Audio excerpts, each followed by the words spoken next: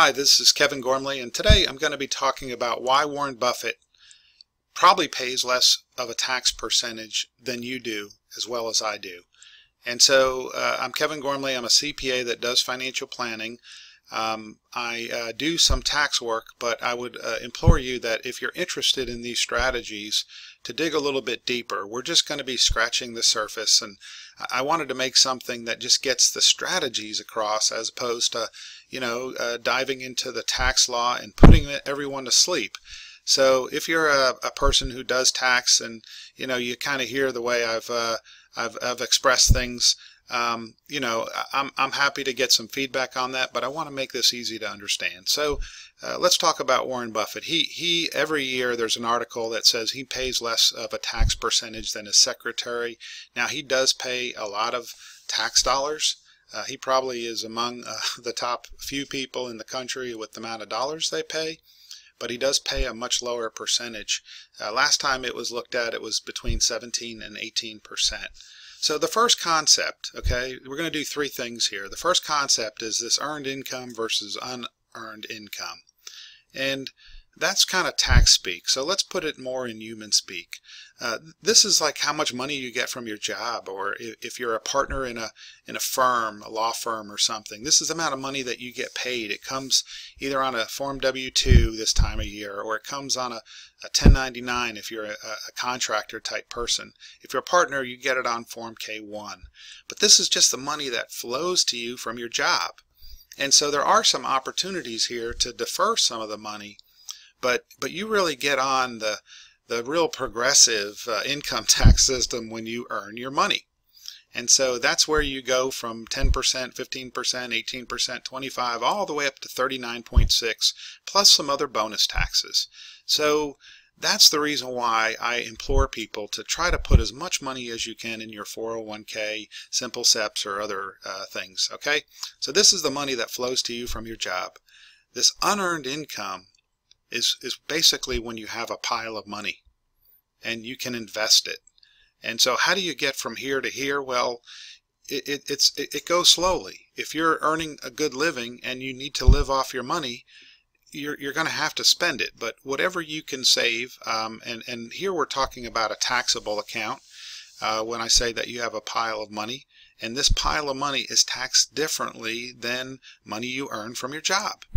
So what Warren Buffett has is he has a pile of money, a big pile. And uh, in the book Snowball, they talked about how the pile just gets bigger and bigger.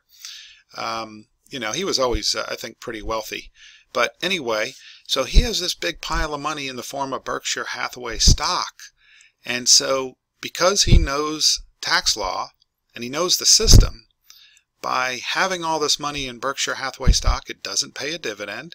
And guess what? All of these tax rates or many of these tax rates with investments are preferenced items. And preference is a fancy way of saying they have a better tax uh, um, uh, ladder than the ladder over here. So, so when Warren sells Berkshire Hathaway stock, he, he probably pays 20% on that capital gains. Now you can go anywhere from 0% on capital gain ladder to 15% on the ladder to 20%. And so he's probably paying 20% when he sells Berkshire Hathaway. But the issue is all the money that's in Berkshire Hathaway and being invested and that money can grow, that's called unrealized capital gains, not taxed. Good system.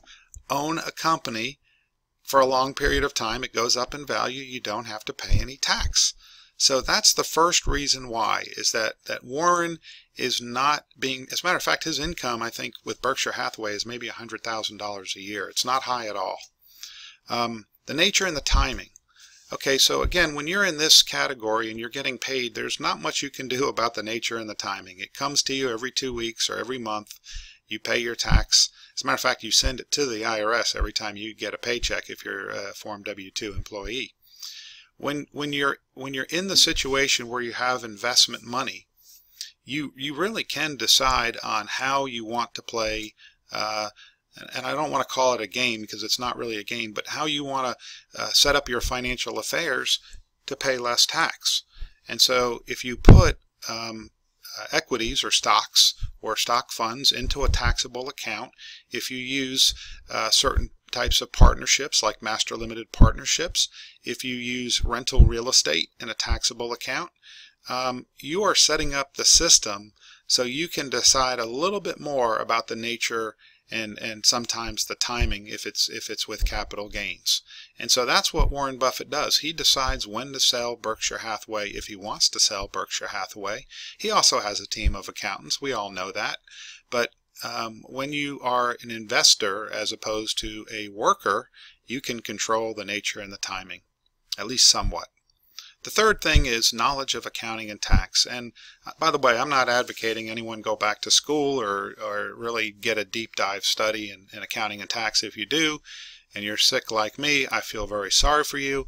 But the thing uh, that I that I realized when I read the book many years ago is that that Buffett is actually a genius when it comes to um, accounting, when it comes to taxation. And and and I don't want to get political here. I know um, you know, he's advocated now that, that, that wealthy people aren't paying his fair share. Well, it really appears to me, uh, and this is a, commentary on my part, an opinion, if you will, that Warren Buffett set up his financial life understanding these concepts and now he's so wealthy that yeah it's easy to say I wish I could pay more tax and he can always send it in um, but the the one example I will give you about his knowledge is that early on he discovered um, first of all, if you pay a lot of tax, you don't get to keep a lot of your money.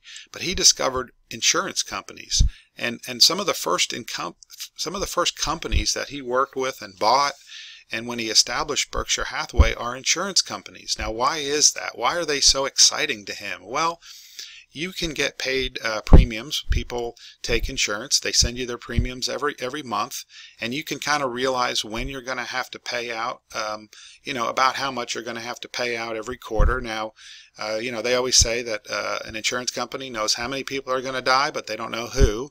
But you know, I mean, there can be some catastrophic events, but pretty much when Warren gets those premiums, what does he do? He invests the money.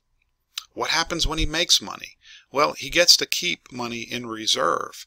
And so he can build up a really nice reserve. And I'm not going to say that I'm an insurance accountant, but he can build up a reserve that he needs to pay out claims.